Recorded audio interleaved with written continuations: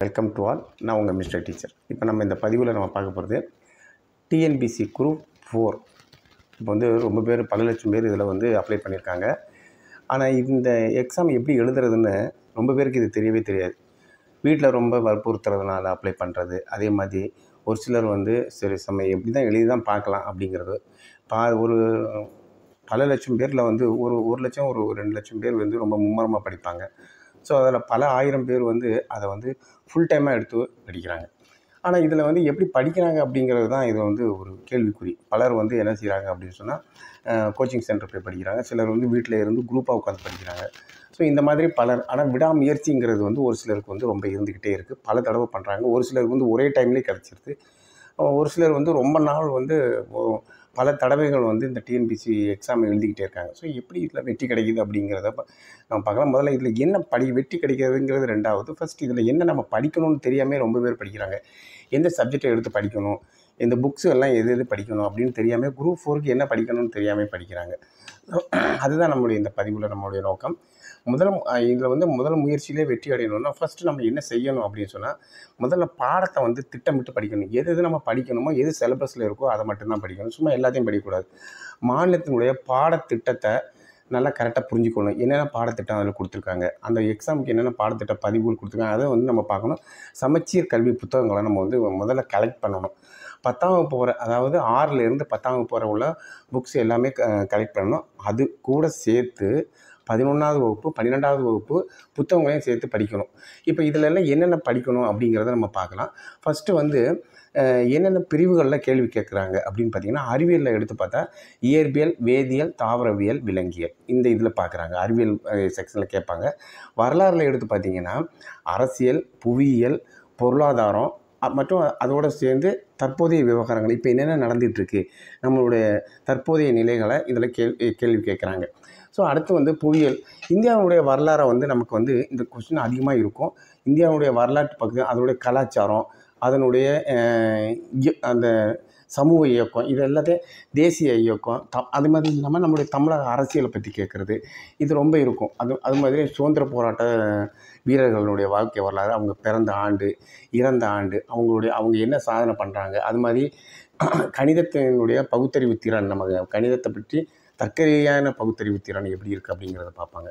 இப்போ இதில் என்னென்ன புக்ஸு நம்ம படிக்கணும் அப்படிங்கிறத முதல்ல இதில் பார்க்கலாம். இதுதான் ரொம்ப முக்கியம். என்னென்ன புக்கு நம்ம பயன்படுத்தணும் அப்படின்னு பார்த்தீங்கன்னா ஆறு டு பத்து சமூக அறிவியல் முதல்ல வந்து சமூக அறிவியல் புக்ஸ் எடுத்துக்கோங்க. இதில் வந்து எந்த புக்ஸ் நம்ம பயன்படுத்தலாம் அப்படின்னு சொன்னால் ஆறாம் வகுப்புலேருந்து பத்தாம் வகுப்பு வரை இருக்கக்கூடிய சமூக அறிவியல் புக்ஸை வந்து நம்ம கலெக்ட் பண்ணணும். கண்டிப்பாக ஆறு ஏழு எட்டு ஆறு ஏழுக்கு வந்து மூணு பருவம் இருக்கும். ஆறாம் வகுப்புக்கு மூணு பருவம் இருக்கும். ஏழாம் வகுப்புக்கு மூணு பருவம். இந்த புக்ஸ் எல்லாமே நம்ம கலெக்ட் பண்ணிக்கணும்.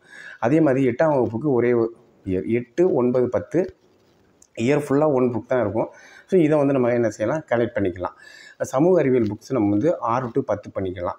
இப்போ அறிவியல் அதே மாதிரி அறிவியல் கேள்விகளுக்கு என்ன பண்ணணும் அப்படின்னு சொன்னால் ஆறு டு பத்து அதுவும் அதே மாதிரி ஆறு ஆறாம் வகுப்புலேருந்து பத்தாம் வகுப்பு வரவங்களுடைய அறிவியல் புத்தகங்களை முடிஞ்சால் என்ன பண்ணணும்னா பதினொன்று பன்னிரெண்டு வகுப்பு பதினொன்றாம் வகுப்பு பன்னெண்டாம் வகுப்பு புக்கை வாங்கி அதில் தாவரவியல் விலங்கியலை வந்து கொஞ்சம் ஒரு ரீட் பண்ணி விட்றது ரொம்ப நல்லது. அது மட்டும் இல்லாமல் பொருளாதாரம். ஆறுலேருந்து பத்து வரை பொருளாதாரத்தை பற்றி நம்ம படிக்கணும். அதே மாதிரி புவியியலை பற்றியும் படிக்கணும். ஆறு டு பத்து புவியியல் என்னென்ன இருக்குது அதை நான் வந்து தரவாக அதனுடைய ஒரு மார்க் கேள்வி அனைத்துமே நம்ம என்ன பண்ணணும்னா அது உள்ளே புக்ஸுகள் ஃபுல்லாக தரவாக வாசிச்சு விடணும். ஒரு சிலர் என்ன பண்ணுவாங்கன்னா புக் புக் பேக் கொஸ்டின் மட்டும்தான் படிப்பாங்க. ஒரு சிலர் வந்து என்ன பண்ணுவாங்க அப்படின்னா சில கொஸ்டின்ஸுகளை வந்து கிடைக்கிற கொஸ்டின்ஸ் ஏதாவது கேடில் இருக்கிறதோ நோட்ஸில் இருக்கிறதோ இல்லைன்னா வெளியிலேருந்து யாராவது கொடு ஃப்ரெண்ட்ஸுக்கு கொடுக்குறதோ இதை மட்டும் படிப்பாங்க. ஆனால் அதில் படிக்கிறது எந்த பிரயோஜனமும் பிரயோஜனமே இல்லை. நம்ம என்ன செய்யணும்னா இந்த புக்ஸை ஃபுல்லாகவே ரீட் பண்ணணும். புக்ஸில் இருக்கக்கூடிய முக்கிய கேள்விகளை நம்ம என்ன செய்யணும்? படித்தே ஆகணும். இந்திய கலாச்சாரம் அது வந்து பன்னிரெண்டாம் வகுப்பு வர புத்தகம் அந்த இந்திய கலாச்சாரங்கிறது பன்னிரெண்டாம் வகுப்பு புக்ஸுக்கு கூட நம்ம வாங்கி அதுலேருந்து கரெக்ட் பண்ணி படிக்கணும். அப்போ இது எல்லாமே சேர்ந்து படிக்கணும். நல்லா ஞாபகம் வச்சுக்கோங்க. இந்த பதிவுனுடைய நோக்கமே நீங்கள் எந்தெந்த பாட புக்கும் எந்தெந்த வகுப்பு புக்ஸுகளும் நம்ம கலெக்ட் பண்ணணும் அப்படிங்கிறது தான். அதைத்தான் நான் மறுபடியும் மீண்டும் ஒரு முறை சொல்கிறேன் சமூக அறிவியல் புக்கு வந்து ஆறு டு பத்து அதில் ஆறாம் வகுப்பு ஏழாம் வகுப்பு மூன்று மூன்று பருவம் இருக்கும். அது எல்லாத்தையுமே நீங்கள் கலெக்ட் பண்ணிக்கிறணும் எட்டு ஒன்பது பத்து வந்து இயர் புக்கு ஒவ்வொரு வருஷத்துக்கும் ஒவ்வொரு புக்கு தான் இருக்கும். அப்போ ஸோ அந்த சமூக அறிவியல் புக்ஸை நீங்கள் வந்து கலெக்ட் பண்ணிக்கலாம். அதே மாதிரி அறிவியல் புக்ஸும் அதே மாதிரி தான். ஆறு டு எட் ஆறு டு பத்து.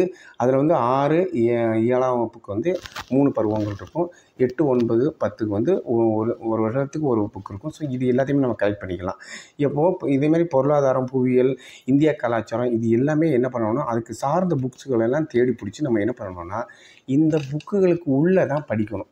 நம்ம வந்து இது வெளியில் நீங்கள் எவ்வளோ தான் நோட்ஸ்லேருந்து ஒன் மார்க் கொஸ்டின் வந்து ப்ரிப்பேர் பண்ணிக்கிட்டாலும் இந்த புக்ஸ்குள்ளேருந்து கண்டி படித்து ரீட் பண்ணி படிச்சிங்கன்னா கண்டிப்பாக என்ன ஆகும் அப்படின்னு சொன்னால் இந்த நம்ம இந்த தேர்வை நல்ல முறையில் எழுத முடியும். இல்லைன்னா இந்த கொஷினை பார்க்கும்போது நமக்கு அந்த டிஎன்பிசி கொஸ்டின் ஃபோர்த்து கொஸ்டினை பார்க்கும்போது எங்கேயோ பார்த்த மாதிரி வேறு ஏதோ சிலபஸில் கேட்ட மாதிரியே நம்ம ஒரு ஒரு மிஸ் அண்டர்ஸ்டாண்டிங் வரும். ஸோ நம்ம நம்ம என்ன பண்ணணும்னா இந்த பாடங்களை படித்தா கண்டிப்பாக நமக்கு ரொம்ப ஈஸியான கொஸ்டினாகவே தெரியும். அந்த டிஎன்பிசி கொஸ்டின் எடுத்து பார்த்தீங்கன்னா இந்த பாடத்தை படிக்கிறது மூலமாக அந்த கொஸ்டின் வந்து ரொம்ப சுலபமாக நம்ம கண்ணுக்கு தெரியும். ஸோ பாடவாரியாக சரியாக வரைமுறை செய்து படித்தாலே வெற்றி வாய்ப்பு நிச்சயம். நன்றி. மீண்டும் அடுத்த பதிவில்